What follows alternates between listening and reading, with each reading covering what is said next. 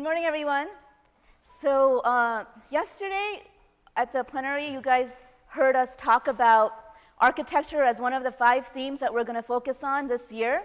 And you saw this slide, right, where we talked about managing legacy, enhancing, enabling our platform, and looking and leaping towards the future.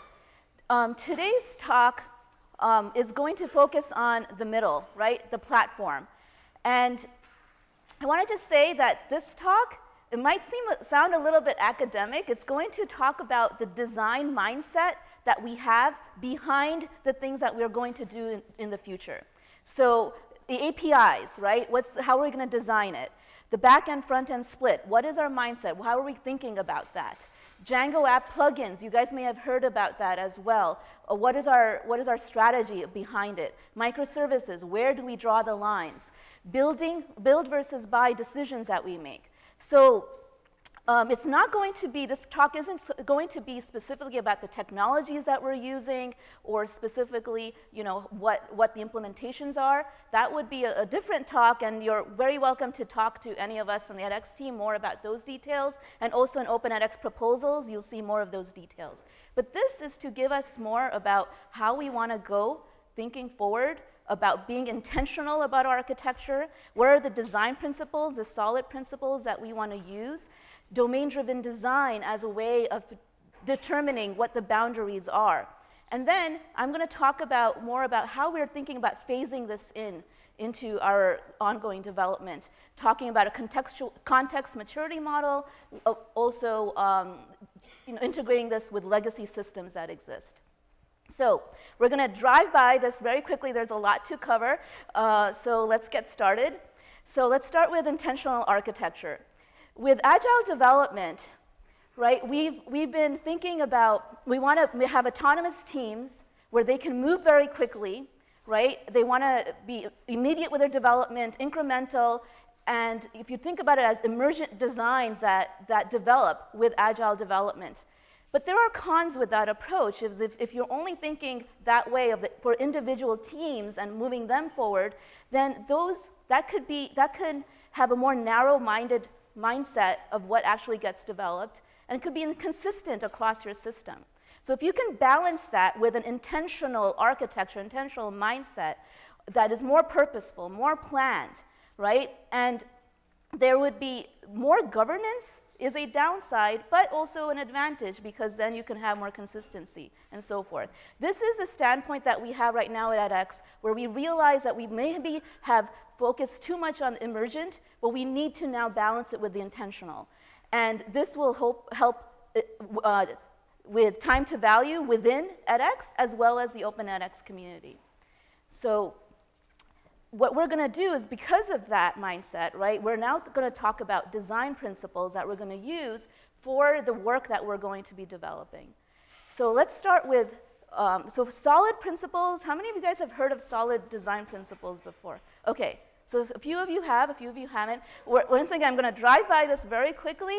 So, but there's a lot of resources out in the internet for this. This is really to just give you guys a taste of it. And hopefully, as students of architecture here, you'll go out and, and read more about this.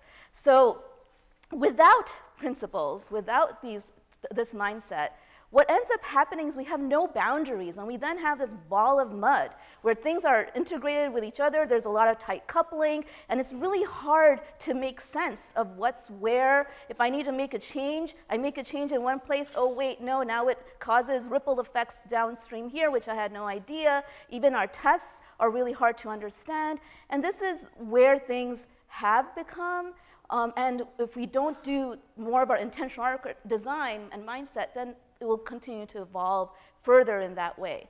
So let's use SOLID. SOLID, S, stands for Single Responsibility Principle. To take an analogy here from the automobile industry, right, you have different parts of the car, of an auto engine, which have different particular responsibilities, and it's very clear what each one would be doing. So you have the engine, you can have the exhaust system, you can have the brake system, and so forth. And um, each one is, has its own boundary. It's kind of, it's very clear of what each one is doing. So what does um, S stand for? Single responsibility principle. So taking that now into our platform, if it's very clear what the core of the, your system is, and then you have an application layer, then you have all other details around it, and there's clear lineage, lineage, lineage and lineation between, delineation, sorry, between each of those boundaries, then it becomes clear what each one is responsible for. And with single responsibility principle, what they say is if you can draw those li lines around the axis of change, then if one thing needs to change at a different rate than another thing, then, then there, you know, it allows that uh, more decoupling from there. So the single responsibility principle, read more about it as well, and that, that mindset will allow us to have a better understanding of what those boundaries are. O, O stands for open close principle. You want to be able to design a system that is closed for modification but open for extensions. So our analogy with the auto, you know, you, if you want to have a comfort package with heated seats or a driver confidence package with you know, rear park assistance, uh, these are things that are not, you don't have to modify the core of the car to add those packages. You don't have to go back to the dealership and the manufacturer to say this. These are things that they could, you know, to, um, to, to add to the car. So you can extend the car that way. So O stands for open close principle. And from that perspective, how do we extend our platform? What are those extensions? Can we add new stuff without modifying the old, right? So technology-wise, right, you have APIs that you can then call, and you can add those new features that would then just call those APIs. You can have an eventing system, so that will notify you know, anyone who is interested, so that you can, you know, once again, add new features that are interested in certain events um, without needing to modify the core. So if you notice that, right, we've added at the application layer, not the core middle, but in the application layer, which is gluing things together, you can add more green boxes, those features um, around it. D. Now, D is a little bit tricky, but it's so important actually. Uh, so, D stands for dependency inversion principle. And so, if you think about the car and all these different add ons, right, that you can uh, specify. And do I, is it the car that is calling out to, you know, any of these individual things?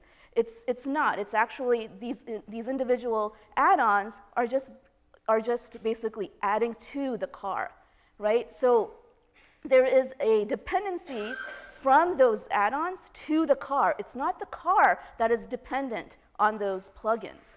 So dependency inversion principle is very important. You want your dependency to be in the direction of the stable part of your system, right? So here, for instance, the email, emailing system and the proctoring system, you want those arrows to be in the reverse direction. You want them to be uh, pointing inward.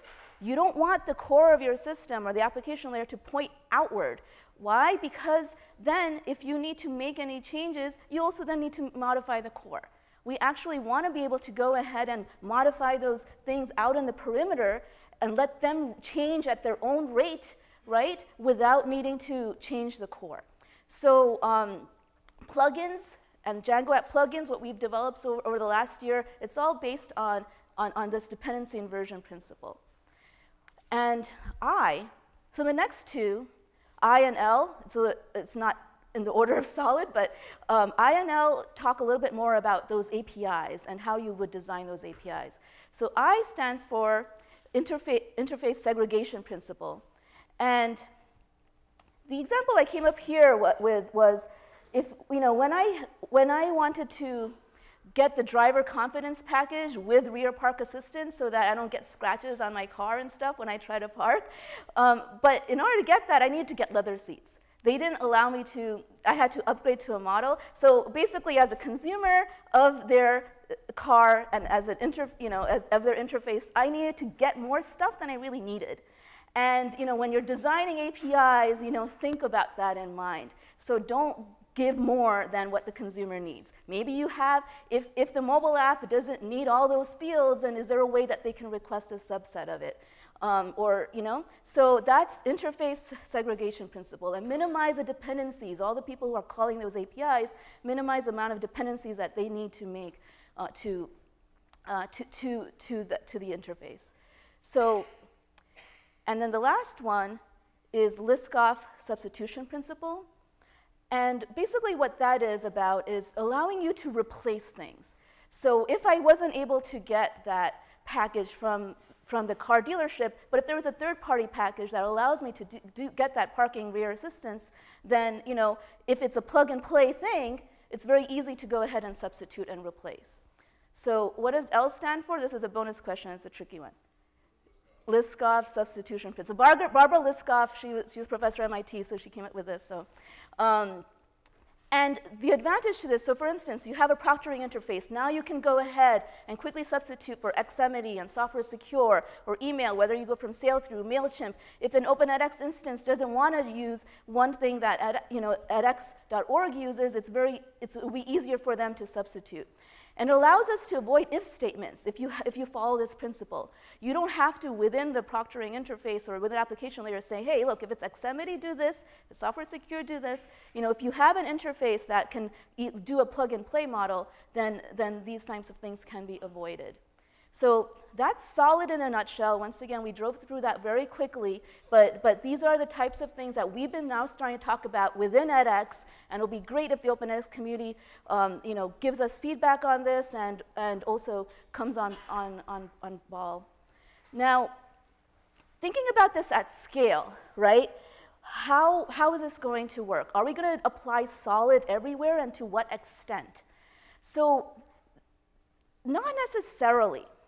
There might be some things that are core to the system. You want to make sure that those are very crisp, those are very clearly designed, and um, you want to make sure that there you do have those boundaries and you are following the solid principles. So those are the core things on top. But there might be some other things that are more generic to the platform or supporting. They're not in terms of business use cases, they don't necessarily need to be as clean, but you want, you want people to move quickly as developers. And so there might be a different, it's okay maybe sometimes if, the, if you do have a big a ball of mud, for instance, for, for a supporting layer. So um, those are things that uh, you, know, you would need to think, to consider. And then there could be a what's, what domain-driven design calls an anti-corruption layer between these types of uh, boundaries, between these types of contexts. So let me talk a little bit more about domain-driven design, just to give you guys a little bit perspective on that. Domain-driven design allows us to think from the business use case perspective, provides us a way to have a common language that we use, and also lets us think, think about where to draw the boundaries based on the life cycle of, uh, uh, of, of the uses of, of, your, of your context, as they call it. So, from, so at edX, we took a stab at what those larger contexts, what, what domain-driven design calls subdomains, uh, in, in the edX platform.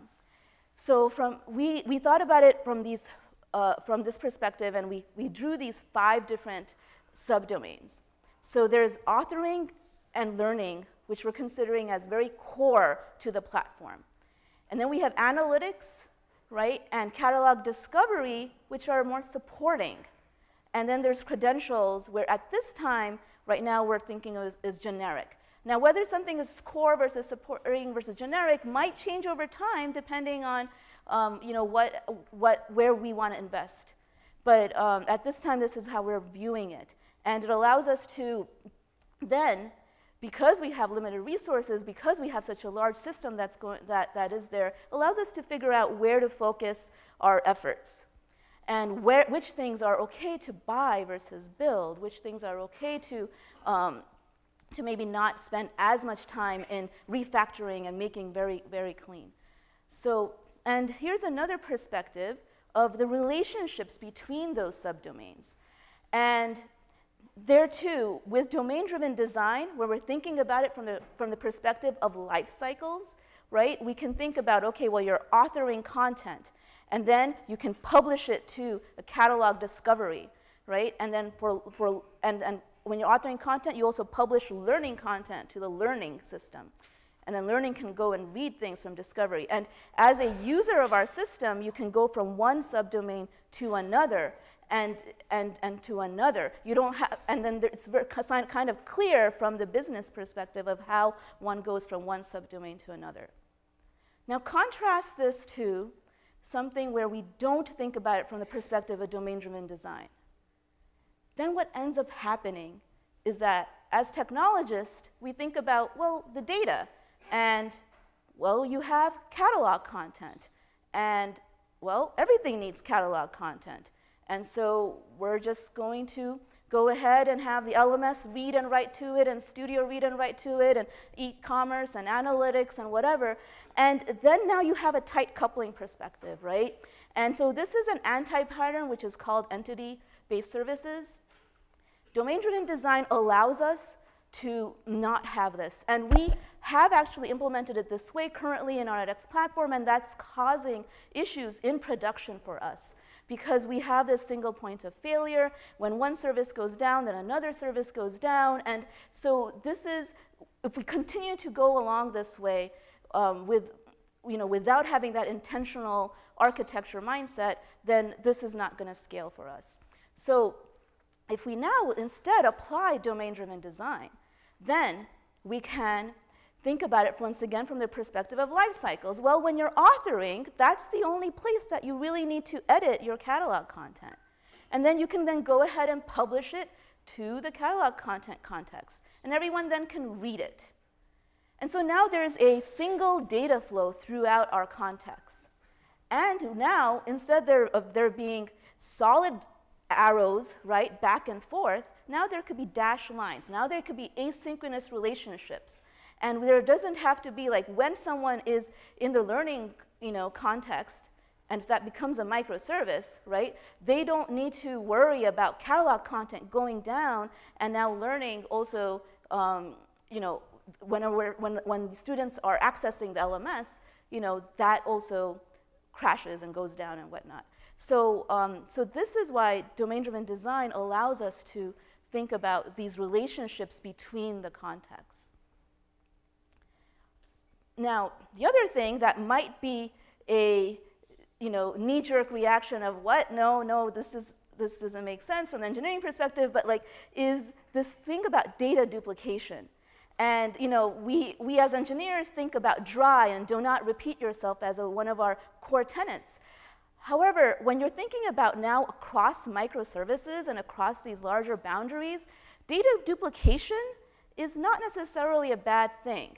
And um, you know, the, the uh, consistent, the CAP theorem with consistency, availability, and partitioning, um, you know, you have there's a trade-off that you have to make. And um, if, you, if you're very focused on consistency and we want to make sure there's only one place where something is stored, right, like, like in this case, then, then um, what happens is, like I said, availability trade-off happens and things crash because there's now only one place that you need to go to. So, but instead, if you do have data duplication, there are some advantages. Now, each one, each context is its own self-contained system. So analytics or learning credentials, they have their own copy of the catalog content from the perspective of what they need for their own use cases, and they don't need to rely on, the, on a different context. And so this way, each one can continue to uh, uh, survive without the other one. So it might be contrary to what, we're, what we've been thinking so far, but there's um, uh, we talked about this last year with Reactive Manifesto, but these are design principles that we're thinking going forward. So I'm going to now switch context a little bit and talk about a possible way of phasing all of this uh, into our current system. Because you might hear all this and think, hey, wait, wait, are we going to like re-implement everything? Well, no, we have five years of legacy uh, code in our system and it's you know, functional as it is, but we want to move towards this for future scalability. So from that perspective, here's a proposal that we have of a bounded context maturity model, where you know you start. So I'm going to go through actually each of these uh, now, but just to give you this higher perspective of where you have no boundaries with the ball of mud, then you start having logical boundaries to some, and then finally physical boundaries. With logical boundaries, it's still easy to cheat, right? You, you, you could still make calls when you're not supposed to. With physical boundaries, it becomes uh, much harder to do that. So, and by physical boundaries, we're talking about microservices. With logical boundaries, we're talking about within a process, uh, but, um, but still there's some sort of lines there. And once again, no boundaries is the ball of mud. So, um, ball of mud. So, as we said, there are no, there are no principles necessarily, no boundaries, and so in terms of dependencies, you have dependencies at the code level, at the runtime level, deployment, data, APIs. There's a lot of interdependencies between each different, different part of the system. So instead, if we now start thinking about plugins, now you have also clear, cleaner interfaces, then the plugin using the dependency inversion principle is now going to be able to be an external thing that can then call into a, a, a system. And whether that system is a legacy system or a new system, whatever, but you have clearly defined interfaces that the plugin can call into.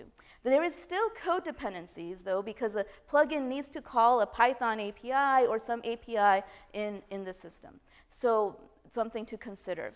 But once again, now here, the plugin depends on the core. You don't have the core part depending on the plugin, and so there is an advantage still to this, this model.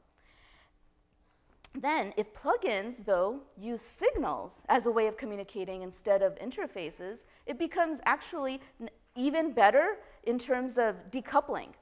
Because now there's no code dependencies. A plugin could theoretically have its own duplicated data, even. It could be very self contained, uh, it could be in its own repo, and the relationship between the core is uh, just an asynchronous communication, or, or maybe synchronous actually in this case, uh, using Django signals, right? And so this, this has a lot of advantages there's uh, over the previous one. So once again, previous one, you're calling, like there's a solid arrow, right? So you're calling, there's a harder dependency. This one, there's dash, dash dependencies. Uh, and so um, they're, they're, they're even more decoupled. Now, if you talk about, think about microservices, Microservices are now physical boundaries. So you want to still, so we want to still, because of what we talked about, like in terms of DDD and asynchronous, still have dashed arrows. You want to still have asynchronous dependencies between microservices. And um, once you do that, and they're, now they're physical boundaries, you can independently deploy them. There are no runtime dependencies. They, don't, they will each have their own data storage. And communication between them right? You, you, they would be asynchronous. You can use REST. You can use message queues and so forth. And in terms of back-end, front-end split as well, right? This is this design pattern where you now have a front end that is now communicating with the microservices via APIs. And another, uh, in terms of the context maturity model, an even better approach is if you can do anything further for decoupling, right? So instead of having uh, um, uh, APIs that you communicate with each other, if you, if you can use uh, eventing, then one microservice can just publish their events, and other, micro, other microservices who are interested can listen to those events. And as a publisher, you don't really need to know who all your subscribers are. So it makes the decoupling even better. So once again, that's the context maturity model. Now, you would, um, in terms of what are we going to do with our entire system? Are we going to go ahead and change all of these down this path? This is a goal, I think um, basically to the right we, is where we want to eventually end up. There might be a time when we might want to just stop in the third and say, you know, plug in with signals is good enough because um, we don't necessarily, there are of course disadvantages to having a separate physical boundary in terms of operationally and whatnot. So in some cases, maybe you want to stop at the third and not necessarily go all the way to the fifth. And then, you know, eventing versus uh, asynchronous communication, there might be some trade-offs as there as well. Um, we're planning to write a lot of this up in, our, in an Open edX proposal, uh, so to give you more detail. But here's a, just a quick overview. So now for legacy systems, how do we, what are we planning to do? Are we going to try to write everything towards microservices? So not necessarily. So um, one way of thinking about this is like if that red circle there is legacy, then you might want to actually just bridge to the legacy. Like you might want to just publish a new language, a new API layer, and just have an anti-corruption layer that buffers your new stuff with the old stuff. And then new requests that come in, they just go through the, the new API, and the legacy can just remain as is. Why would you want to do that? Well, you know, this is once again a trade-off.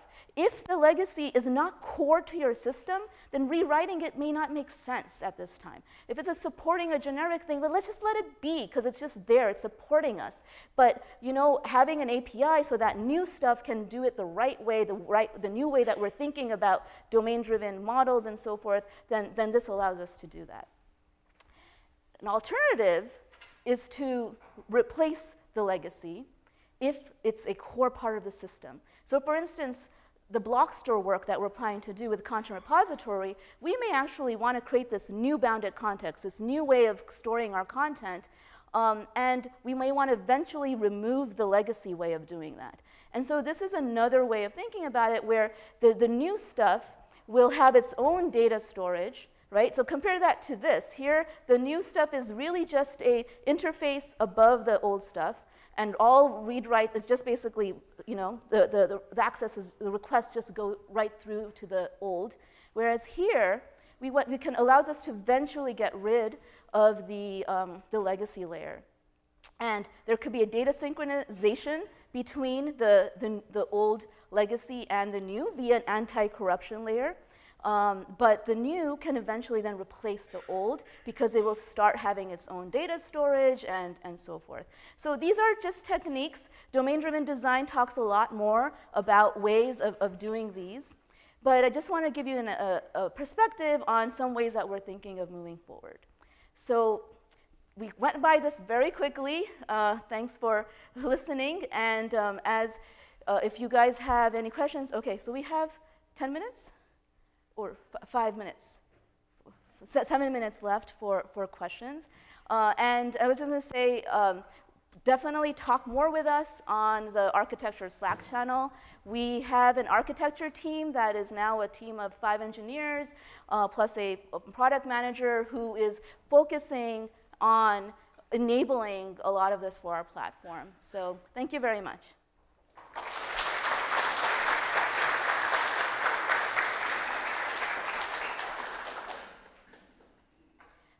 So are there any questions? I know I went by very quickly, but yeah.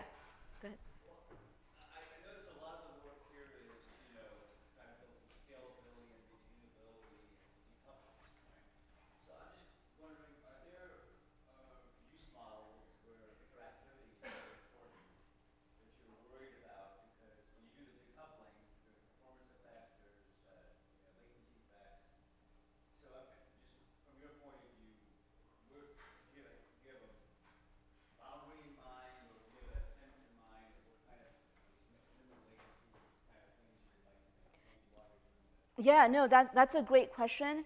And um, so, and this is why, like, th th there's trade-offs will exist, and we'll have to uh, determine which of these types of, uh, you know, places we want to create those boundaries. And if latency is a, a, large concern, then maybe, for instance, the logical boundary, like the third context there, with plugins with sig signals might be sufficient. And with microservices, um, you know, yes, there is a, a, latency there. But as you can see, like even us, like the reason why we have this movement for front end and back end split is because we are finding that having independently deployable applications is going to make us, you know, move faster. And so there is an advantage to that. Uh, and so there, there will be, you know, implementation-wise, uh, things that we'll need to factor in in terms of, you know, determining and always monitoring to see, you know, where we can optimize for latency. Yes. Sorry, yeah, go ahead.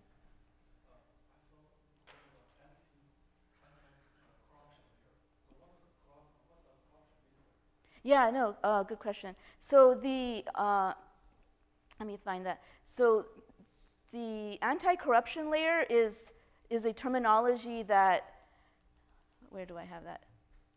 So anti-corruption layer is a terminology that domain-driven design uses. And essentially what it is, is it, it's, it's an abstraction layer that allows you to uh, focus any translations that you want from one context to another. So if and we, I didn't go into depth here. I, I could talk about this for two hours actually, but like, but like you know, in, in domain-driven design, you have a bounded context, which might have its own ubiquitous language, its own way, its own domain models. And another bounded context that has a different perspective, a different model of things. An anti-corruption layer allows you to translate from one to another. It allows these contexts to be independent from each other. So one can go and evolve the way that it needs to because that team is starting to function and maybe its mindset, that, that team's way of thinking about things can evolve differently. And so it allows us to, you know, have decoupled ways of independent, independent contexts. But then there's this one particular layer, and that's the only layer that you need to make sure that the teams communicate with each other. Um, and in bounded contexts, you'll have also term, uh, terminology such as one is um, you know, a client of the other, or one, or each are cooperative with each other. And it really then boils down to how the teams communicate with each other as well. Okay, yeah, I'll talk. Um,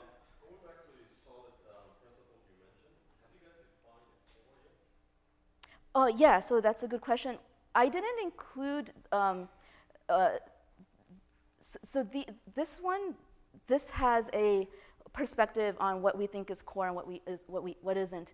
Um, because of time, I didn't go into the bounded context within each subdomain, but within each subdomain, we do have also defined which parts we think are core. So for instance, taking learning as an example, right? Within learning, there is supporting of learning and social learning and some other things that may not be core right now, uh, but like consuming the learning and the courseware right now is, is, is core.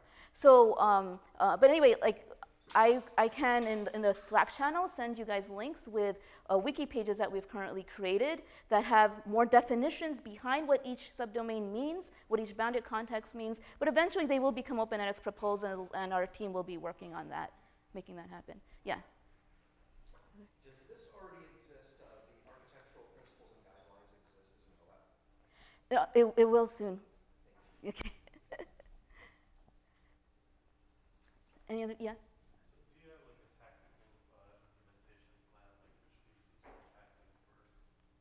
Uh, yeah, so that's a good question. Uh, the, the new things that we are implementing, we want to start thinking about it from this perspective. And uh, so, for instance, plug-in with signals. There's a, you guys have heard of the new completion and progress APIs, and so that was implemented as a separate repo outside of the edX platform. And it uses Django signals, so whenever someone submits a problem, whatever, there's a Django signal that then gets received by the new completion API, and that is, uh, uh, you know, and, and, so it uses that, that, that way of, uh, of keeping things decoupled. Uh, and then there's new work that's happening with uh, thinking about publishing of catalog content and so forth. And you know, we're looking, we're using domain-driven design principles to determine where those, how those relationships are and things like that. So to answer your question, it's the new stuff that we're looking into and, um, and not necessarily rewriting everything at this time, but like the ones, whatever we do choose to replace or add features to and whatnot, we will be using these principles. So, yeah. Okay, okay, so yeah, time for maybe one or two questions? Yeah. Go ahead.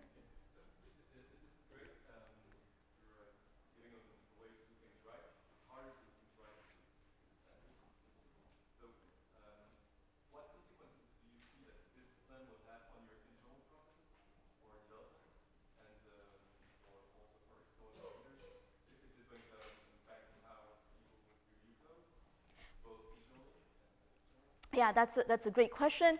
Um, so with architecture, there's uh, process is as important as like technology and other things, and we we are looking at uh, having so because we formed this architecture team. Uh, we're actually looking at having architect buddies, so to speak, with other product development teams. So, and the architect buddy would help, uh, you know, basically evangelize a lot of these ideas and we're hoping that over time, you know, people do become intentional, well, intentional, actually it's not hoping, we need to. We just, we need to. I mean, it's, we cannot sustain ourselves the way that we are right now. So we need, we need to start doing this.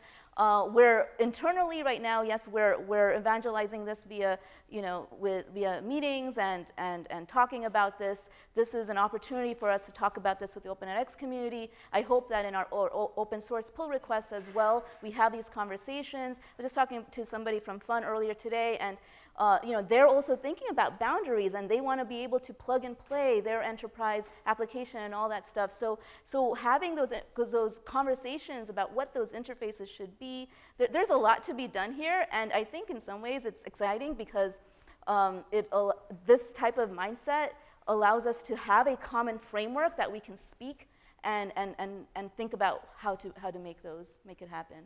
Yeah, so one last, oh, stop. Okay, we're at time, guys. I don't want you guys to delay to your next session, but um, please come and find me uh, or find anyone on our edX teams. So thank you very much.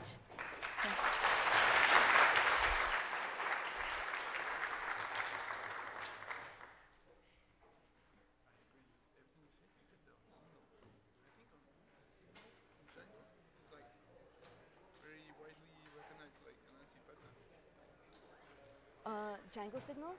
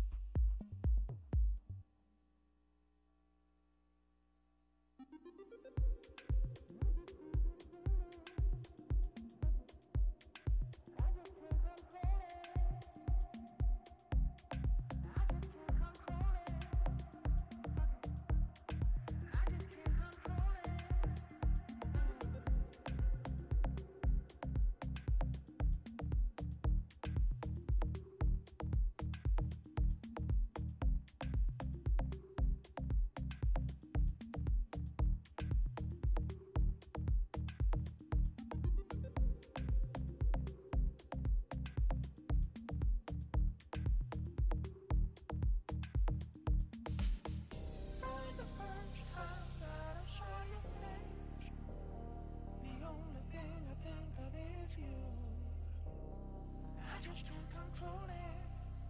Fuck it. I just can't control it.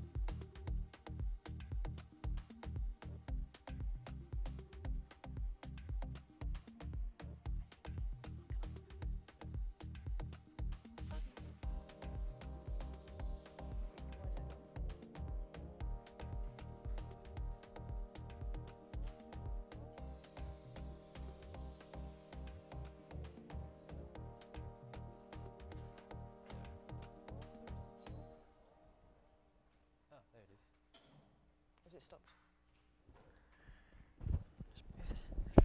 Morning, everyone. Can you hear me okay? Yes? Thumbs up? Yes, brilliant. Okay, um, it's great to see you all. Thank you for coming to join me and Tonio. So this is Tonio, who is advertised as taking the talk. I'm not Tonio, as I hope you'd noticed. Um, my name is uh, Philippa, and I work with Tonio at uh, Proversity.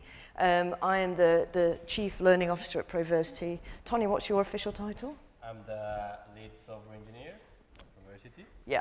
So we're actually going to uh, work together today to talk a little bit about uh, gamification in learning, as you know, um, but what that means to us at Proversity, how we use um, game design principles to inform um, the design and delivery of our learning. Um, so, yes, great to see you. So, um, yeah, one of the things that I, um, so yeah, as Chief Learning Officer at Proversity, I have um, quite a big team of instructional designers, learning designers as I refer to them. I kind of interchange those two terms. Um, and one of the things I say most often to my team of designers is that they should be more Mario, which obviously they find hilarious. Um, and by that probably I actually mean um, that they should be uh, more Tezuka, Shigeru, and Koji. So these are the three game designers who are behind uh, the huge Mario franchise and, and those, those great um, Mario games. Um, so the point I'm trying to make here is that I encourage my learning design team to, to think and to design like video game designers. So why on earth do I do that? And I guess that's the question that I want to answer uh, today. Um, I'm actually asked that question a lot. Why gamification? I'm challenged on it quite a lot, and I think that's because of the amount of bad press that gamification um, has had, the gamification of learning has had, I think particularly in the higher education sector, which is where I come from, um, in the past. So for some um, gamification, and by that I mean the process of applying typical elements of game playing, uh, like point scoring and competitions, and getting prizes for doing well. Um, some people think that that does not should not mix with learning, which is a serious endeavor, something kind of very difficult in, uh, different in character and culture from learning, that it is actually a distraction from a very serious business. And I think that's true. I think if gamification is just used for novelty, uh, to add something that's different, to attempt to be fun, then often it doesn't work and it doesn't impact. Um, but critically, um, there is a lot of research to show, and primarily this research comes from a guy called uh, Professor Karl Kapp. Has anyone heard of Professor Karl Kapp? One hand, brilliant. But if you're interested in looking at this further, he is like, uh, yeah, the guru on this. Um, and his research, very in-depth research, long-term research, um, proves, I think, that um, many of the principles of great video game design are the same principles which apply to great learning. Um, and so by follow, my, my basic point here today, I think, is if there's one takeaway, the headline is that by following some of the principles of great game design, we can create really great um, learning experiences um, which support effective knowledge and skills development. So let me, I think what I'm going to do today is just to kind of run through a few examples of how at Proversity we have used um, video game design, uh, how we've thought about, um, thought as um, game designers to inform um, the learning that we've designed, primarily I should say for adults, so I'm talking here specifically about andragogy. It is the case that we can use gamification for kids too, and I think typically actually that's where we use gamification most frequently, but actually um, there is a lot of potential to use gaming too to really engage and encourage learning amongst adults. Um, and that's what I'm particularly interested in because that's where we work. So I think first up, um, one of the key gaming principles that we've drawn on at Proversity uh, is active learning. So as much as, as possible, our learning experiences leap straight into the action. So when you launch a video game, uh, there is very little, if any, preamble. So there's no passive watching of like Mario standing up and setting the scene. He doesn't explain in detail like what you're going to do and why you're going to do it and what you'll achieve by the end, what you might do with the things that you learn in the process of the game. There's just typically a really quick text or video introduction, which you are very welcome to skip, and you're straight into the job at hand. In the gaming scenario, then, you're a very active character. Um, you have a challenge to complete, um, you set out to do it, you have a go, and by having a go, you learn and you develop, and then you eventually succeed. And at Proversity, we believe that the same is true with really effective um, adult learning. So research shows that as learners mature, we're talking here about adult learners, as I've said already, um, we see an increasing motivation in them to learn less just for the sake of it, and more to develop knowledge and skills for immediate or near immediate application typically to do better in their work. And I think that's something that came out of Fiona's uh, talk yesterday. Um, research also shows that active learning, so just getting on and doing something, um, rather than being told about something in the abstract, leads to faster um, and more embedded cognitive gain uh, when compared with learners who are just kind of told stuff, expected to sit passively and consume content. So a great learning experience then uh, jumps straight into the action as soon as possible. And that's one of the principles that we use at Proversity. So to give you an example, we're currently working with the Cabinet Office in the UK, and we've been challenged by them to design and deliver an online course which um, supports other governments in developing countries to create great um, government campaigns which actually lead to real measurable change. Um, and here we take a very active approach. So when you enter the course, you're straight into the action. So there's no preamble to the course, there's no long-winded video or text introduction, uh, there's no sharing of outcomes at the start of each module, and there's no explanation of the plot and the learning journey.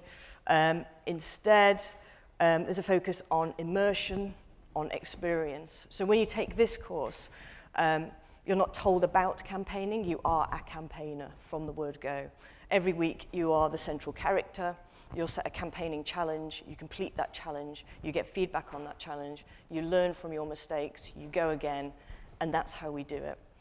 So in this course, like most of our courses, we draw really heavily on that principle of active, experiential, quite immersive learning, and we find that that's a really um, effective way of learning, far more so than the typical approach.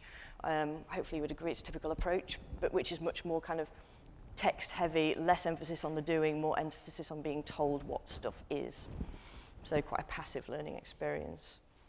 Um, the second gaming lesson, which we sometimes draw upon, thanks Tonio, um, is um, basically learning through failure, which sounds a little bit uh, negative.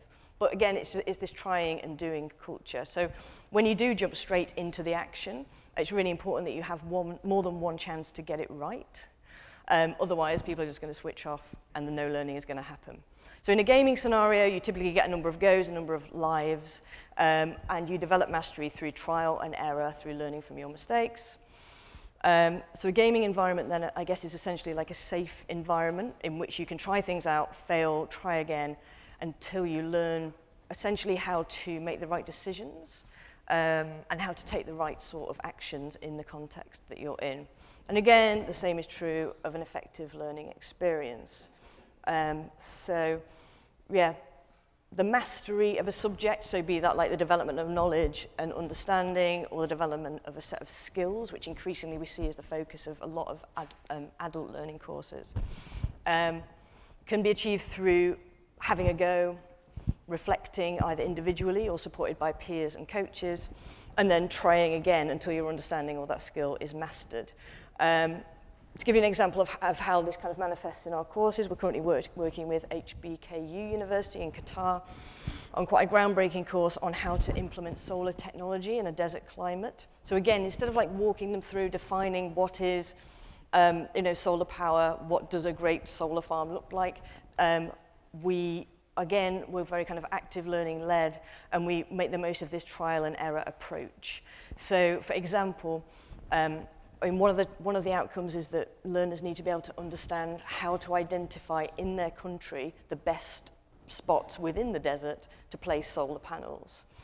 And the initial proposal from HBKU is that we had like a kind of 40 minute lecture on this and then people did a tick box exercise afterwards, which is not uncommon in terms of people's imagined approach. But we're doing it differently. So what we do is we actually have somebody walk through step by step how you go through this process. Um, we then offer learners 10 potential sites, and they have to pick two, the, the, the two, top two or three sites based on the criteria they now understand, and provide a rationale as to why those sites. And they get they then get uh, feedback, and typically they get it wrong first time, but that is deliberate. And what, what it means is that they can they go through, they make the errors that they might make in real life, and through that, they have a much richer learning experience. Um, okay, so another thing that we do, thanks, Tonio, um, in terms of drawing on the gaming principles, the third principle is that in a gaming scenario, you typically get to choose a level of mastery or where your starting point is. Um, and research shows that typically gamers will select a level that's not too easy, but also not too difficult. So they want to feel a sense of challenge, but they also want to succeed and be able to demonstrate success. Uh, so people like just enough challenge to motivate them. And the same is absolutely true also of learning. So I think one of the things at Proversity that we've noticed is that gaming really encourages to think about this notion of mastery. Where are people starting and where do they want to get to? And can we give them some control over that? Um, again, just to go back to a little bit of the um, adult learning theory, um, research shows that as a person matures, um, their what we call self-concept uh, moves from one of being a kind of dependent personality um, towards one of being a more kind of self-directed, autonomous human being. So in short, basically, adult learners like to influence as much as possible what they learn based on what they already know and what they can already do. Um, so like with gaming, um, we, when we differentiate learning experiences, so when we give them that choice over what level of challenge they want, um, they typically will engage for longer with a course. They will push themselves harder. Um, so again, they will kind of maybe, maybe select a level slightly above where they think they are and to get that sense of push. And they will achieve more and are more likely to complete the course than if we dictate where they start. Uh, just a couple of examples to show how we capture this in our learning design. So one is we, we use uh, pre-course diagnostics, which enable learners to rate themselves against certain criteria, and then that then dictates what track that they take within that course. So we might provide two or three tracks, depending on what the different levels of mastery, what the subject matter is. Um, and we've also um, started to use more team-based approaches using the cohorts functionality, which enables people to be grouped by um, different perceived levels of competency, and therefore they kind of travel through the course together and master the same, like, yeah, progress through the same kind of mastery journey, if you like. Um,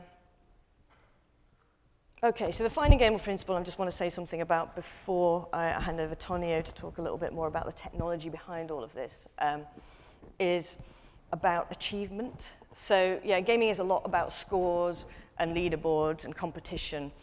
Um, the drivers behind that vary. So some gamers want to compare themselves to other people and want to be like, you know, the best in class effectively.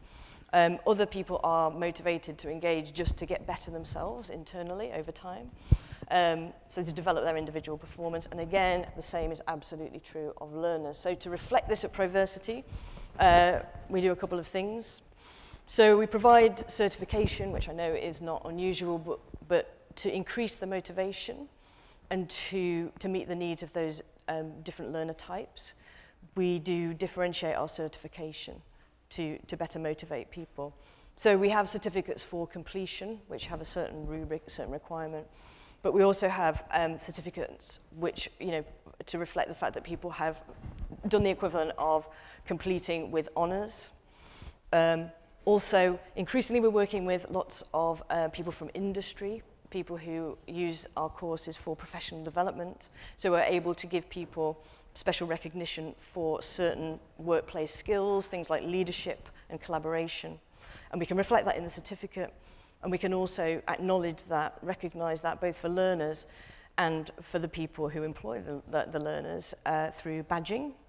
And um, I think that's, Tonio, where I'm going to hand to you to talk a little bit about how that works. Yeah, uh, so on OpenEdX, if you want to give like a, any kind of like achievement that is not a certificate, you give badges. By default, they support Badgr from Concentric Sky. Uh, the only limitation about the badges on edX is that you can only get them at the end of the course, which sometimes some clients want to be able to acknowledge how they are progressing their learners, like as a module or something like that, like after a, an assessment. So for that, we built the Badgr X block, which basically lets you embed that X block after an assessment and it will actually read the grade that you get on that assessment, and if you pass the assessment, you will get a badge. So that gives like instant satisfaction to the learner if it actually passed the assessment, instead of waiting all the way after finishing the whole course, which sometimes many students don't yep. finish yep. because of that. Uh, Badgr uses the Open Badges standard uh, made by Mozilla Foundation, so they can actually share the badges anywhere, like LinkedIn, and it's already enabled on edX using your profile tab. Uh, we use it on one client called KHDA. Those are an examples of the badges that we give. It's like custom badges that we made, and you just upload it to your Badgr service. Uh, there are two options to get Badgr running. You can use the open source Badgr server, or you can use the hosted Badgr by Concentric Sky. And if you want to check out that XBlock, that's the GitHub repo, Badgr XBlock from our Proversity org account. Okay, great. Yeah, so essentially that's it. That's our message. I think um, hopefully we've managed to kind of suggest to you today um, like how gamification, if it's mapped to learning principles, if it is learning first, which is our tagline at Proversity. So if we use gamification as a way of better achieving learning outcomes, it can really help um, to um, make learning active, to make learning um, engaging, to encourage um, iterative mastery of a subject through practice and reflection and then more practice. Um, and it also provides that really critical opportunity, as Tony has just said, to kind of drive, to recognize and to, to share learner achievement, which um, yeah, we find is absolutely critical. Mm-hmm. So yeah, thanks for your time, and if you have any questions, please do let us know.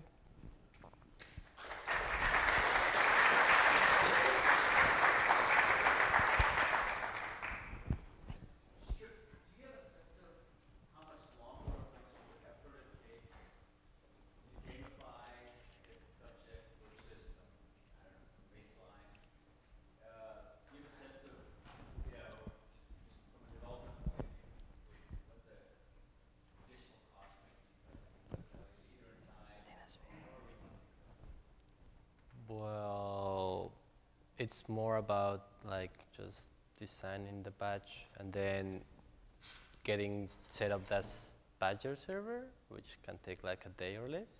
Or if you don't have like a DevOps guy, just buy the hosted version of Badgr, which is uh, ready to go, very easy to use.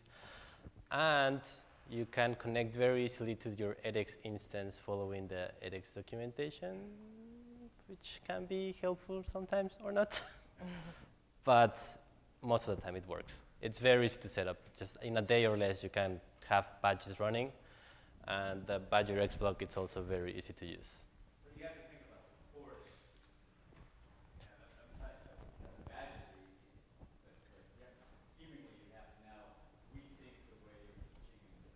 Yeah.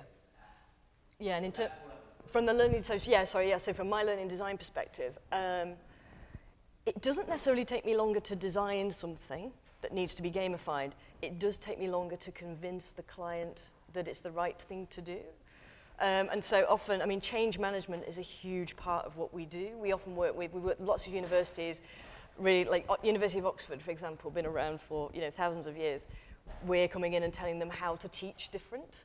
And so that in itself is a massive ask to then suggest that their you know, highly prestigious world-class knowledge can be gamified is another layer of um, change. I think by mapping it to learning science, we're able to convince them.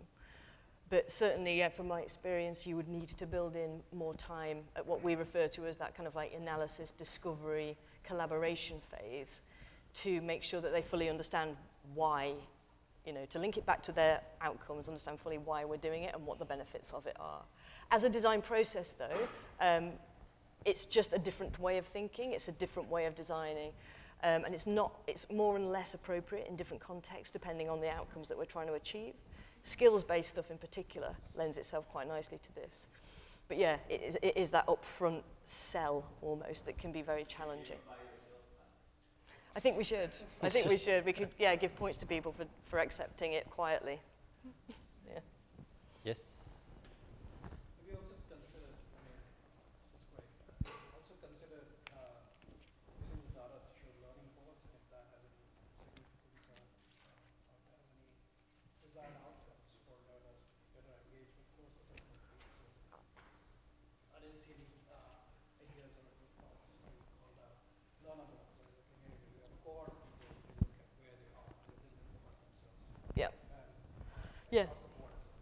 Absolutely, yes, it can.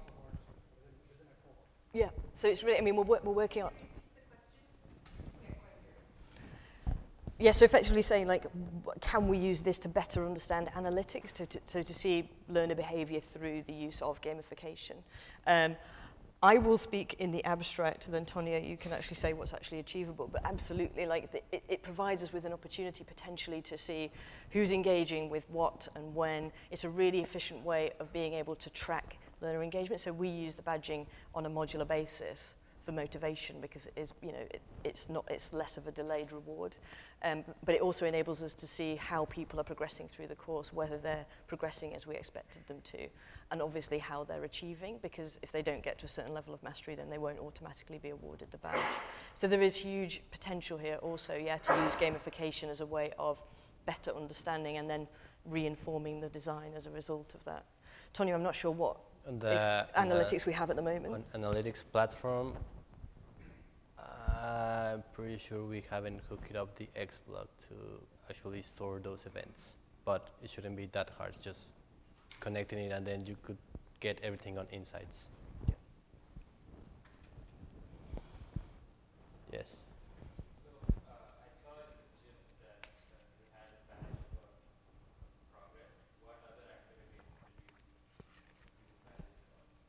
It's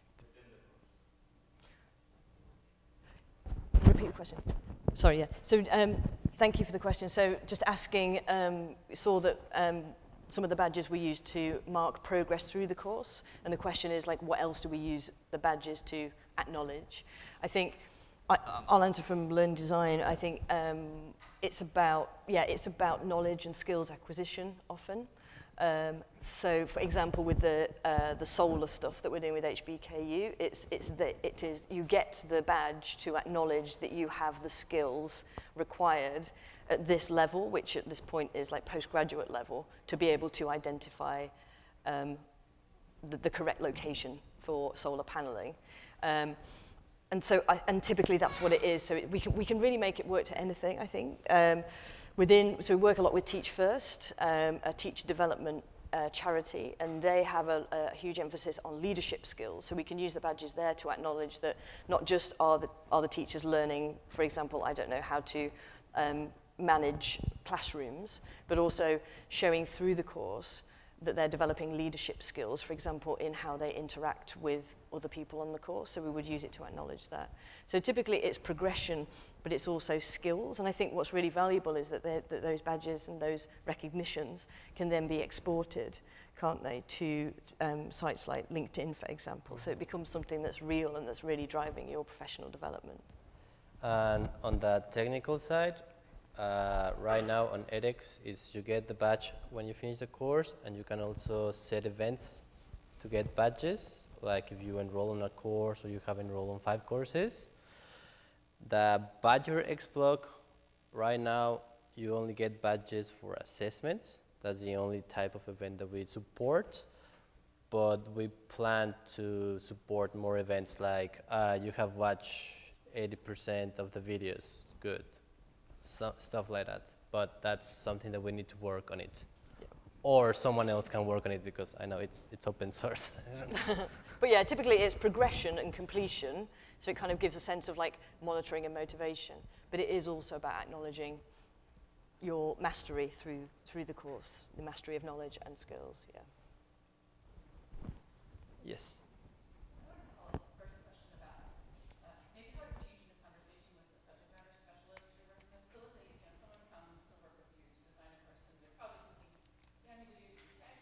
Yeah. Yeah.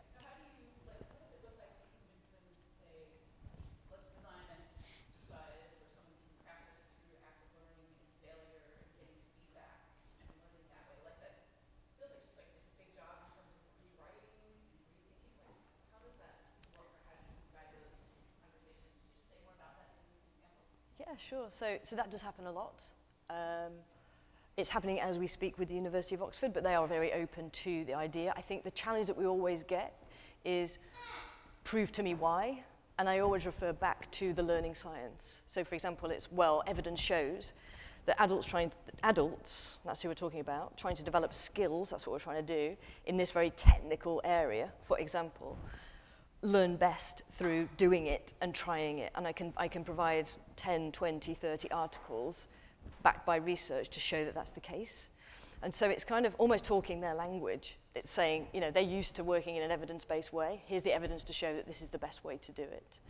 I think what we don't do at Proversity, I guess, is just move existing content online. We don't digitize it. And we, you know, we don't, yeah. It's not just a different means of delivery. It's actually what we bring is that learning design knowledge. And so we set that out very clearly at, at, the, at the contracting stage with clients, that it will be more than just that. And so there's an expectation that we're not just going to ask for the handouts and the slides and maybe make some videos, that actually there's going to be what we refer to as a discovery phase, where a learning strategist will sit down with the client for anything from three days to two weeks to a month to really explore what the learning outcomes are. Um, and then from there, we use our expertise in curriculum and content design to identify, okay, so in order to meet those outcomes, in this, in this online context or in this blended context, whatever the context is in this case, we need this content and we need these activities. And I then present, or a learning strategist then presents that back, again, with reference to the research. And so it can be challenging and it does take time, but most people are, well, everybody is convinced by it. And we also, like, you know, we're very clear that we only go with the best design for your learners, and this is what we're ultimately trying to achieve. So it really helps to keep drawing it back to the learners and to their strategic and business goals too, and say, well, this is actually the most effective way of doing it and it, and it will work. So I guess it's just, yeah, it's important to acknowledge that there is a big change management piece in there, but also there's a lot of enthusiasm for it. I mean, these are typically people who are really into learning and development anyway, so they're just excited. And I think part of what we offer is how we work with our clients is that we help to upskill them a little bit in this, in the hope that maybe they can then take it forward themselves in the future. So they're actually really open to, to new ideas and to this process that we go through. yeah, it's effectively coaching as well as design. Yeah. Yes.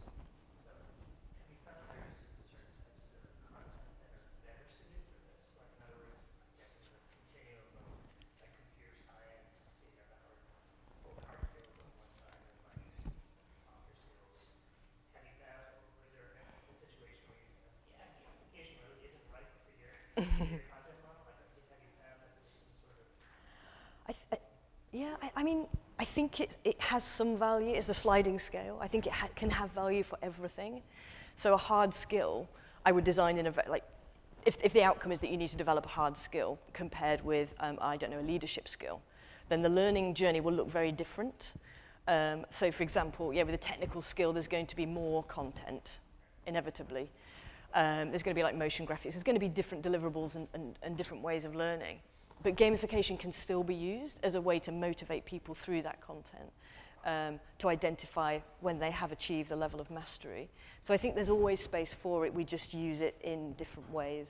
Um, the softer stuff, we use the badging to kind of identify that, for example, yeah, you have shown leadership there, you have shown collaboration there.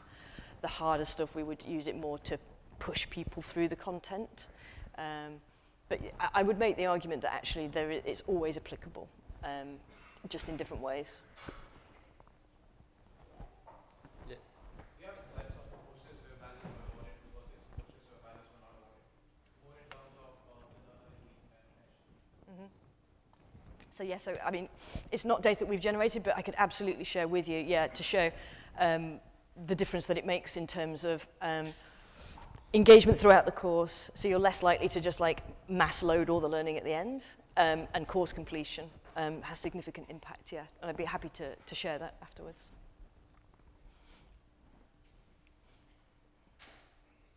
Okay? Good. Mm.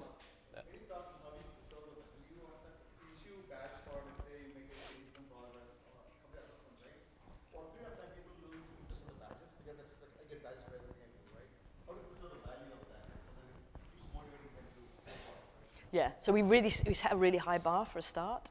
And we have that for all of our, so we don't really do like noddy quizzes and this kind of thing. So we make it difficult, and that seems to be enough. So also it's about like getting the frequency of it right, and you don't want to, you know, we do, we kind of, I like to try and keep it to kind of one badge per module. So it's like one thing per week that you can be awarded for. But I think the answer is keep the bar really high, really push people. Um, like I was saying before, um, with the example of HBKU, like make it so hard that they will fail and that really motivates them to continue. But you're right, you know, there is a risk here that if we could just badge everything all the time, then it will lose its value. And there is a temptation to do that because interactivity and getting feedback on your learning is, is kind of proven to motivate that learning. But again, you just need to get the balance right. So yeah, we once a week badge, but like super difficult to achieve it. Yeah. So one of the other risks, not just in gamification, but maybe more gamification than like in one of them, is that, so I, I speak as an engineer, and there are times when people come to the right solution, but with the wrong thinking. Yeah. And that's fine for that one problem, but the next time they try a different problem, they, uh, they're just floundering. So how do you, how do you, uh, approach that risk? Yeah. So I, I, I ask that also as a learning designer. No, no, and it, and, and it is. It's a, it's a huge challenge. It's like the equivalent of saying, well, you need to show your workings out to make sure that you've got to the right conclusion before we give you a badge and tell you, yeah, brilliant, well done. I think what we do at Proversity is we, we typically take a scaled, blended approach. So in, in courses where it requires um, a human eye to, to check that, we, that's, we, we do that. So we always encourage our clients to commit as much resource as possible to providing teaching assistants and coaches and that kind of thing to review activity on a weekly basis just to make sure that we're not just focusing on the outcomes but also on the, the processes that sit behind this. And I think that's something to acknowledge is that badging is both a solution in that it can be automated and therefore provide like fill a gap in feedback but actually that there is still a need for qualitative feedback and for the monitoring of, of the results, if you like. And so actually sometimes we find that our clients want to do badging manually, which is like the ultimate blended approach. So they might, in hindsight, apply badges based on not just the result that they get, but how they've done it, how much value they've added to a discussion and this kind of thing. So we use them in different ways, but in something where the working out is critical, or the process of learning leading up to the outcome is critical, then we have additional interventions that happen to monitor that too. Yeah. So it's all about like, so the discovery phase is, um, so it's an inductive model, which means basically we ask lots of questions. So we don't have like a one size fits all. And it's who are your learners? Yeah, how much teacher and coach support input can we have? Uh, do you have physical spaces where you want people to get together? Do you want asynchronous? Do you want some live stuff but that's virtual? Is it important to connect people globally? All of these massive. So we run through all of this and what we end up with is like this massive information from which we can then concoct the best possible design out of who we're trying to reach, what we're trying to teach, and like how much budget there is ultimately um, as well. So yeah, all comes through that discovery phase, and I think that is arguably the most critical bit that we do. That's why we do it face to face. That's why we can like put so much time into it because it's so important to get that right because it then sets the trajectory for, for everything else. We're done. Okay. Thanks everyone. Thanks for the question. Thank you. Well done. Well done.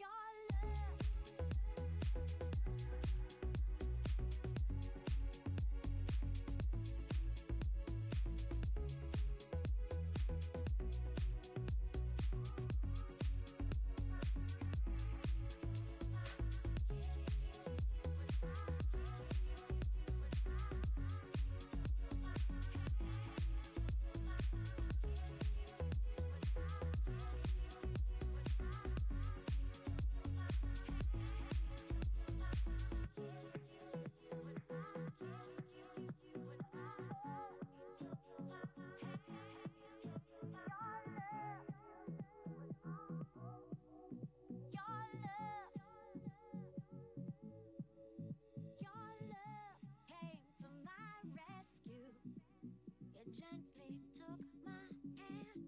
I had my plans, but when I kissed you, I knew you had my heart. Baby, your love comes to my rescue. When you gently take my hand, I have my plans, but when I kiss you, I know you have my.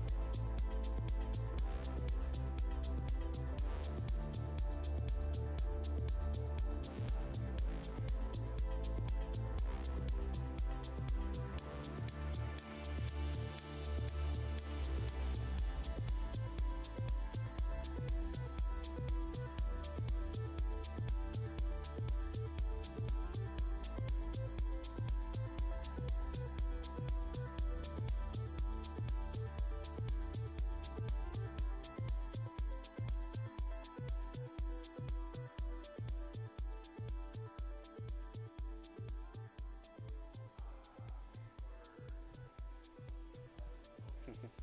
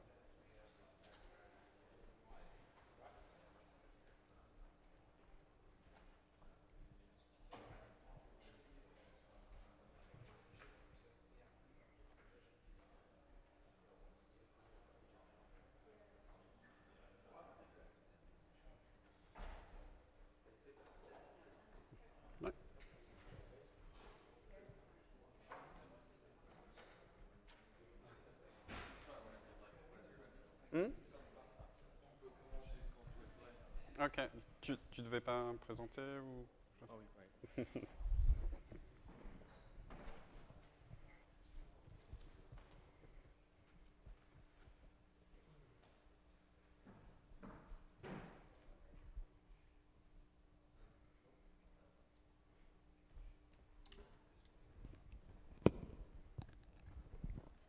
Uh, good morning, ladies and gentlemen.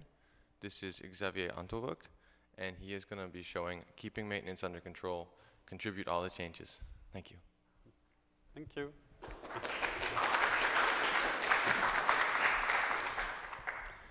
All right, uh, so um, today we are going to talk about maintenance. So maintenance, when you hear it, uh, the like that sounds a little bit boring. Why should you care about maintenance? Uh, well, uh, to, to try to explain that, I'll uh, walk you through uh, more or less uh, a pattern that we have seen with a number of clients and projects using OpenEDX, uh, how they come to realize that maintenance is actually something important to, to care about. Uh, so just walking you through the different steps. So the, the first contact that most people have with OpenEDX as an open source project is great. It's a great gift. Uh, we get all that code for free, millions of dollars spent on it, and it's all for us, which is great. So this part, so far, so good. Then, obviously, uh, we start needing to add some features. It's missing this there. The teachers are asking for that, and we need it now. So then we want to develop those features. And it's great because it's open source, so we can do it. Uh, but it's open source. We might have heard somewhere that on open source project people contribute things, but everyone has a schedule. Um, and uh, when the question of whether to contribute back the change comes up, often there is not that much time for it. So um, we like, and actually, if some organization go even a little bit further, this is not a charity, we don't have time to spend on these kind of things. Um, some still try it, uh, and one of the comments they give, but I tried, I submitted it, they refused my pull requests. So I did my part, sorry, they don't want it. Uh, there are various reasons for that. The quality standards of the project are fairly high. Uh, so if you've developed features in a quick and dirty way, there's no way that's going to get into the, the code. And I'm glad for that because that means that otherwise the code quality of what we would be getting from OpenEDX would be uh, lower. Uh, the technical approach might not fit the project. Uh, the design might not be generic enough. Uh, lots of different reasons why that might not happen if you just like send it uh, for uh, contribution at that point and in a quick way. So often the reaction at that point will be, mm, you don't want it? That's fine. I'm just going to keep it for myself. That's mine. That's my feature. Um, and why would I care actually? Like that's better. Like if I'm a vendor or I don't know, university project, I have now a unique feature that nobody else has. That's supposedly a good thing. Um, just a side note on this, uh, even if you don't contribute back uh, contribution uh, or change that you make to the platform, it's still AGPL v3 for most of the platform. So you need to at least uh, publish the code somewhere, even if you don't open a pull request against the main platform. Link to your code, um, mention that it's AGPL, uh, and that it's OpenEDX. It's just part of the license. If you don't do that, you lose the right to use OpenEDX. Um, so until now, the feature is just ours. That's great. All goes well until the next release comes in. So then that's usually the first contact that most organizations get with the problem that I'm talking about here is what do we do here? Because we have uh, our OpenEDX version with the previous stable version, our change on top of it. Uh, but the new version that comes in doesn't have that change. So we could just upgrade to the new version, get the, that new version, but then we lose that feature. We could keep the old version, but then we don't get all the nice new features from OpenEDX that have been developed in the meantime. So often what that leads to is that you get to the new version and you reapply the change that you've made to the previous version. Uh, except that since in the meantime the platform changed, uh, maybe the architecture was a little bit different, uh, UI and etc. So it means that what you developed previously doesn't completely apply well to the new version. So it means you have work to do to reapply it, and in some cases redevelop the feature because the ground will have changed just below you. Uh, and this, by the way, include change that you would do in a theme, because I know a lot of people do like put features in themes. It's okay because it's a theme, so then, then I don't have to do it. That's the same, you still have to, to handle that. Uh, and this is true for one release, but this is true forever. Every single release of OpenEdX, you will have to do that. And actually, you're not going to stop developing features, you're going to add some. So that problem is going to get worse. Uh, and usually by the time you've upgraded, next release is around the corner, and you pile up a larger and larger amount of work every release forever. Uh, then, obviously, you have that amount of work uh, at each release, which is kind of a nightmare, to be honest. Like, as a developer, that's one of the least uh, nice uh, type of task that you can have to deal with. Uh, not only uh, you don't develop new feature, there is nothing new and shiny to, to take care of, but you're digging into old code that has various level of quality. Sometimes the people that wrote that feature are not around anymore, so nobody understands that mess. And nobody wants to deal with that, so that gets given to maybe junior developers who, like, because they, they just arrived, they don't know better, they say, oh, okay, I'll do that. And then end up with kind of a nightmare on their, on their hands.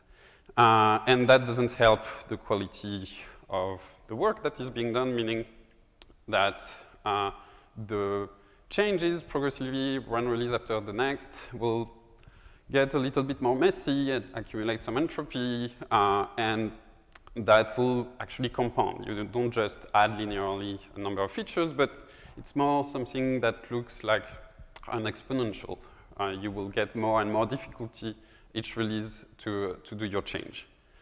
So that means that it looks like this. Um, the, at the very beginning, it doesn't sound like much of a problem. Okay, it spent half, half a day to upgrade or a day or something like that because you don't have that many features. But the, uh, the, the characteristic of an exponential curve is that at the beginning, what feels really slow and gradual at some point feels very sudden because we are not equipped uh, to really relate with the exponentials. Uh, so for a long time, it doesn't seem like a problem until it, uh, it's actually almost too late to do something, at least in a simple way, uh, for that. Uh, and that's also a reason why we give that advice to almost every single new project that we hear of, whether they're clients or not. And it's often ignored. And that's part of the reason why. Because at the beginning, it doesn't look like a problem. So if you don't have in the team, and especially at the managerial level, someone who went through that before, uh, who felt that pain of that curve that suddenly really increased, usually it's like, okay, we have enough to take care of for now, we'll see about that later. But when you get to that uh, really increase, then it's really uh, the panic button because suddenly everything explodes. A large part of your development budget goes into uh, uh, rebasing, upgrading. There are like uh, some projects, and not just one, where every single release, that will be a team of like four, five, six people for several months, just working on coping up and making sure that you can still do something about it. Um, so one thing to know though is that if at that point it becomes really difficult and costly to escape, there, there is kind of a, a way to go uh, and come back to something a little bit more sane. And that's, that's what I'm going to be discussing. So if we go back to the reasons for that situation, I think it boils down to uh, misconception about open source, and especially the the, the, the part about the zero cost of uh, operating and developing on an, uh, an open source project. Because like, like I was giving in my first slide, it looks like a nice gift. Um, you, uh, you get all of that code for free. And like a lot of people aren't really used to deal with open source software, so like we tend to uh, relate to it in analogies with things that we already know. And most people know development through uh, maybe custom in-house development where you're the only one, you do whatever you want with your code. Uh, you have all the time that you want, you can make all the change, it's not going to impact others, and nothing that anyone else does is, um, is, uh, is influencing you. But in the case of open source and Open OpenIndex in particular, it's not at all that. It's that. It means you're one developer among many others. And you need to take that into account when you do the, the, the development. Uh, you're joining a, a, community of developers, and, and actually that's a good thing, because if you were trying to match the number of developers that work on Open edX every day, uh, and when trying to have that in-house, like, like okay, let's hire 100 developers and I don't need to care about this. Even then, um, which would be already silly in the first place, but even then you would, there would probably be features in the main version of Open edX that you might want also. Um, and so at the end, whether you want it or not, and that's the important part, you're joining a community and you're going to be impacted by what other people are doing. And as a, matter, as a matter of fact, we are aware of this during when there is a new release, but this happens all the time. Like Open edX is changing right now. Um, like if you go to master right now, there will be commits of people who have been doing that, and you have that every day. So if you wait to think about this for the next release, you will have quite a backlog of things to take into account, and that's part of the nightmare. Uh, just an, an, aside right now, because I'm going to use that term a few times about upstream, downstream. So I could just say about contribution that we contribute to edX, but actually there is a more general concept about contributions that you take in um, developments made by others. So upstream, someone creates something that comes, that trickles down to you. Uh, you might use it, you might change it, and etc. And maybe someone will reuse what you did and go downstream to someone else's project. So basically what I'm saying in this talk is that it's not sufficient to just be sitting next to the river and waiting for whatever. It's better to take a little bit into account what happens upstream to, because that's going to influence you uh, later on. So the, there are a few perks to contributing uh, because we often talk about the costs of contributing, that it's effort, things that you, you have to do that maybe you don't always want to or have the time for. But there are quite a few things that are really interesting uh, and just for yourself to be contributing. Well, first, it will be much easier to avoid duplicate work. Uh, whenever you will be doing a contribution, you will be talking with people who deal with the platform every day, the, the upstream reviewers. You will be actually looking at the main version of Open edX, so you will have the latest development and not the things from six months ago.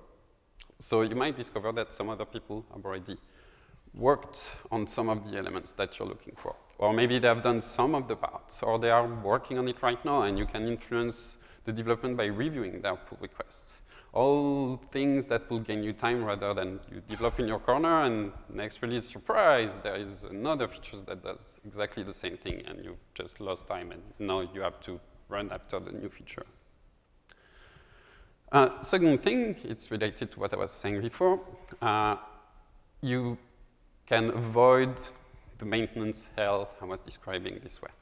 Because what that means when you contribute features is, is that your code becomes part of the official version of Open edX. So that means that anyone who will be working on Open edX, whether it's people at edX or their contributors like that community of developers, will have to take into account your changes. Uh, and you, you also get uh, tools to prevent other people from breaking what you're doing. You can add tests to, the, to, to, to your pull request or to the platform or specific to your use case uh, that will fail if someone breaks your feature. So instead of discovering at the next release that everything is broken, that will be that little red cross that you see that a developer will see uh, while trying to work on this feature. And that's the moment where the person working on that feature will actually take into account your work and make sure that it doesn't break. So one thing to keep in mind uh, is that it, to avoid that, of course, you need to work for it. Like it takes a lot of effort to get uh, pull request merge upstream. I think um, that's news for nobody. Uh, we hear enough complaints about that, about how difficult it is to merge, but um, if you plan for it from the beginning, uh, it's actually really worth it, even if it takes that much time. Like, uh, basically, on average, you need to plan for maybe 30, 50% of your time, uh, like working on addressing upstream uh, requests or conforming to the project standards and etc. And, and in terms of budget, like if you, if you want to do a clean feature that is upstream, that might take you several times, like not know, two, five, six times more uh, the, the, the, time budget that you would have needed to just do the quick and dirty just to satisfy someone and let's forget about it. But the thing is that, as we saw before, uh, the, even if you go faster at first, you will have every release work to do to be able uh, to keep your feature in the platform and keep the upgrades at the same time. So you will end up spending that time, like no matter what. You don't have, really have a choice at the end. It's just that you have the choice whether to spend it up front and spend that time having a really high quality feature that is in the platform, that is uh, generic enough to be useful for the community in general and not just your use case. Uh, and uh, be kind of proud that it's in edX. Or you can spend it over years, uh, sweating tears of blood every time there is a, a rebase. Your choice. Um, another aspect that is interesting is that by contributing, you also get contributions because th that code becomes part of the official release, meaning that other people will get it with their new release. That's part of that little one that appears, the new release there, and your contribution is part of that. So some people will start using it. And they might notice that, oh, that's interesting, but there is that additional feature that could be nice to add on top of that, or I need that for my workflow. So they might also do the same. And if you keep your contribution on your fork, on your own code base, there's very little chance that someone will come and pick that and start using that. It will be difficult to get contributions on that. If it's part of the uh, official project, you will naturally get them. And actually from other contributors, from edX, uh, from lots of different sources. So that's also a source of not only satisfaction, but cost reduction. Um, also, something that is often really overlooked is that is how much quality this adds to your development to do things upstream. Uh, like, th there are people, actually some of them present in this room, that are just amazing at OpenEdX, at architecture in general, at, and it's people that even if you add a very good budget, you would probably not be able to afford them or to attract them to your project. But because you contribute your work upstream and you make that effort to make it useful to others, they will spend time looking at it and trying to make sure that it's going to be good. So the level of advice and a review that you get there is just unparalleled. Um, there are very few companies that will be able to match the quality of what you produce at that point because of that, because it will be the the, at the quality standard of OpenEdX in general. Um, and by the way, this is true for uh, code, but you also get product review. UI, depending on your feature, like um, the review will make sure that at all levels, your feature will be matching the, the, the project standards quality level. And another one that is important, ah, it's less the type of things that appears at the bottom line on the financial sheets, but I would say at a more personal or emotional level, um, you get that warm, fuzzy feeling that comes from being able to contribute something to others. So it means that when you work, you don't work just for your client or your boss or the stakeholders of your school around you and etc. You work actually for the whole OpenEdX project, for the whole community. And because of the scope of OpenEdX, which works to improve education in the world, you kind of work to help humankind. It's, I know it sounds a little bit over the top, but that, that's actually true. I mean, talking from a personal level, uh, being in that paradigm for the last five years, has been one of the best things in my life. I mean, like I, it's very rare that I end a day not being really happy to be there. Like some days are really like that, but still, I have that at the end of the day that this was useful. And I don't think I've been as happy working on something as I have been on Open edX because of that. Because it's more than just a little project. It's something bigger than ourselves. Anyway, that's, that's probably not what you can use to convince your investors or etc. But for yourself, it's also nice to have it. So now, how, how do you contribute? That's also a tricky one. A lot of people have tried and, and have had difficulties with that. Uh, like, the very first thing is to really start small. Uh, like, be aware that you are joining a community. It's not just something technical. So you want to learn a little bit the ropes of it. It's like if you arrive in a party and start like jumping on table and dancing and kissing everyone, maybe that's too much. Maybe in first you need to see how things are going. Uh, and starting small with just a very small change is going to teach you that because then you see what's the contribution process, what's expected of me, how long do I have to wait, and etc. So I would suggest starting with that. Uh, also, there is like there is um, a certain amount of um, relationship building that you need to do. Because if you come and arrive immediately with 10,000 lines of code of something that is like a little bit weird compared to the, the current standard of the project, maybe the reviewers will be, oh, I'm not sure this is worth my time. If you start small and show that you can get stuff merged, that the time invested by people who will be reviewing your task is actually well invested because it, at the end it benefits the platform, progressively you'll be able to uh, have more attention and people will feel more confident spending time on your work because they know that at the end it will be useful. Um, another point that's really important and that starts at the product phase is to make sure that your work is useful to, you, to others. Again, coming from the, the the, the proprietary world and etc. We are used to just like satisfy a very corner case. Some crazy stakeholder decided that the button needed to be pink and doesn't want to budge. Like you have to deal with that. But because here you're in a community, that won't, that won't go. You need to make sure that whatever you do is as useful as possible to others. So that, that can add a little bit of work, but that will also make uh, your work and your features more consistent over the long term. You will have less uh, Blueby, Bulgar, different things that vaguely work and resemble Open edX. You will have something consistent. Um, another point is to make sure you get buy-in early from the reviewers, from upstream.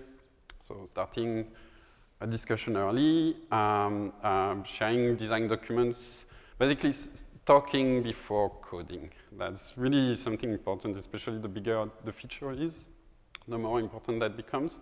Because even small things uh, that you overlook at first, you don't know that there is uh, an architecture change being done at the moment and the way of doing things is a little bit different, or that you need to do uh, your, place your code in a specific area or in a certain way. Um, this is easy to correct if you know it from the start. If you have already completely developed your feature by the time upstream sees it, then probably that will be a lot of work to rewrite it. And um, also, that means that you might become more resistant to the suggestions that are made to you because you, you code it. We're all like that. Like we like our code, even if we try to not be too attached to it. We tend to think very quickly that's the best code in the world. So if someone tells you no, that sucks, then we don't really want to change it. And that happens all the time in a lot of pull requests, and it's really a factor of a lot of them being refused. So yeah, make sure you do that early. You, it will be easier to sit on your ego there. Um, and also, don't be shy. Like, feel free to ask questions. Like, I mean, reviewers don't bite. So if you're not sure about something, it's better to discuss it at that point. Follow the best practice. So a few links, you get it from like when you open a pull request or in the Open edX uh, configure, um, uh, documentation repositories. Have a look at that, make sure that you're aware of the different type of uh, standard that you need to follow. Um, plan properly is also really important because, well, we all hear about the fact that it takes a long time to get pull request merge and etc um, you need to make sure that you take that into account in your process, that uh, you will have the time not only to go through the, the upstream process, but also to have the time to just address the comments from upstream. If, if your planning stops at the moment where you open the pull request, most likely it won't be accepted because there will likely be at least a little bit of work to do. Uh, and also, you, you, like, you don't necessarily need to wait for everything to be approved and merged and etc. to use the feature because it's always the same thing. We have clients, they have deadlines. You can't wait six months to merge something. So you, you can also deploy the changes that you've made before they are merged in the main repository. It's just that you need to be careful about that. You need to make sure that by the time that you deploy that change, you have a very good understanding of what will still need to change, so the agreement with upstream. You will also uh, need to have had that discussion before. If you followed the, the approach of starting to discuss before coding, that shouldn't be too much of a problem, but that's even more important once you deploy things in productions, because not only you might have to rewrite things, but you might also have to update the data of your users on your platform if you have to change a lot of things, and that can become really complicated. So yeah, just be careful about that. Budget properly also, uh, because again, it takes time to get that stuff merged. Uh, it takes um, uh, quality. Uh, quality takes time also by itself. So it means that if you have someone to which you need to report your time, which most of us do, uh, you need to make sure that whether your boss or your clients or etc. are aware of the time that you will need to spend on that, which will be bigger than if you were just doing it on the side. And this is important to take into account because at the moment where you will be asked to do change on your pull request, you need to have that time. So you need the support of the people who can say, no, you can't work on that, go work on something else. So if you forget about that and leave it for later, that's going to bite you. Uh, the good thing is that it's actually in the interest of the person approving the budgets to say yes and to plan for that, because like we saw earlier, if you don't, that will still have to be paid, but will be paid later with interest, every release, and etc. So make sure that they are aware of that, maybe give them a, a link to this talk or, or try to talk about this, uh, to, to make sure that they understand the, the drawbacks and advantages of, of the different approaches. Um, also, something that I mentioned before is to work against master. So to work on the current development version of Open edX and not like the current stable version, because if you contribute something upstream, that will be against the current development version that you will do. And it's only once it's right over there, it's usually easier to backport that work to the current version that you're using. Uh, because most of the change and discussion will be around that development version. And in any case, the review, the upstream review will only happen against the development version. So you better start with that. Um, start the review early, same thing as discussing early. It's still the same principle. Uh, like if you're not sure if it's a big pull request, uh, open it early, say that it's a work in progress, and uh, to, to maybe start having some opinions. If you're not sure, it's same thing, same, always same principle. The earliest, the easiest it is to change, and the less attached you'll be to, to the code. Be responsive to reviews is also something really important. Uh, because like, until it is merged, the problem of maintenance still applies. You still have to maintain that feature. And actually, um, during the review, you will have to rebase regularly your um, pull request to make sure to follow the, the, the master. Uh, so until it's merged, it's, it's going to be a pain for you. So it, it's in your interest to answer early or quickly to make sure that that moves forward. It, and also, on the other side, if you take a long time to reply, it means that the, the, the reviewer on the other side will be, okay, that takes forever, and will also take more time to reply. So the thing is with maintenance L is that it's something that happens to a lot of people with, with all the good intentions uh, at first. Uh, and it's, it's not the end of the world if that happens to you. It's still possible to, to recover from it. You just need to be aware uh, of, the, of the fact that it's not something small, and the bigger the work you have done on top of the platform, the bigger work you will have to get back to something clean and a more vanilla version of Open edX.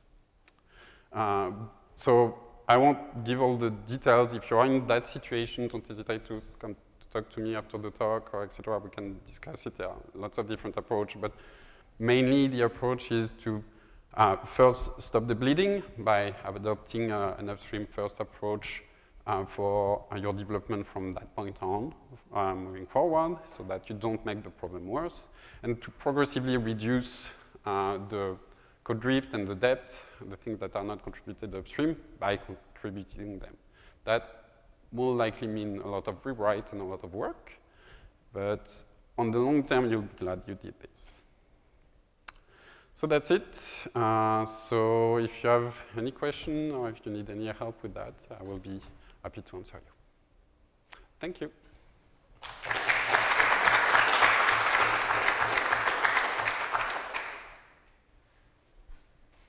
Any questions?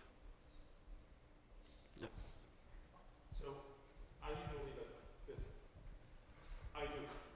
Mm-hmm. So Yeah. I do reach out to people for product review and then for uh, engineering review and then things usually go well. Mm-hmm. But usually it doesn't go the other way around. So I don't get to, for example, to ask, or like as a community, we don't get to usually ask about features that edX is like, or upstream is, is, is uh, like adding. So Mm, that, that might depend on the feature because, well, it, it's true that we don't get asked about every single feature, but for example, if there is an area of the platform that you've contributed a lot to, people will start becoming aware of that. And that happens actually quite frequently that because we worked on some part of the platform, during the review we get ping, like, can you have a look at that too? Because at the end, if you've worked a lot on a part of the code, you will become the most knowledgeable person or group for that part of the code. So then anything that will touch it, people might start to remember that. And the more you contribute, the more that effect increase. And for more general features and change, you have like the OEP process, which is actually being extended to, to try to, like everything that can impact people on a large level is supposed now to, to go through that. Uh, sometimes it can be uh, on, the, on the mailing list or on different channels. Uh, most of the design documents for new features are actually public on Atlassian and etc. on, on the Confluence, I mean. Uh, so it's true that sometimes it can be a bit messy. Without a roadmap, it's difficult to know to pay attention to things. So I agree uh, for some part of what you say. But, but if you pay attention and if you contribute a lot and if you actually uh, build those relationships, you might actually hear more about those. And I didn't repeat the question originally, but the question was that uh, we don't necessarily, like, it's, it can be, a, can feel a little bit uh, like one, uh, going one way, where we talk only about our development to upstream to edX, but it doesn't always come the other way. Any other question? No? All right, thank you very much. Have a good day.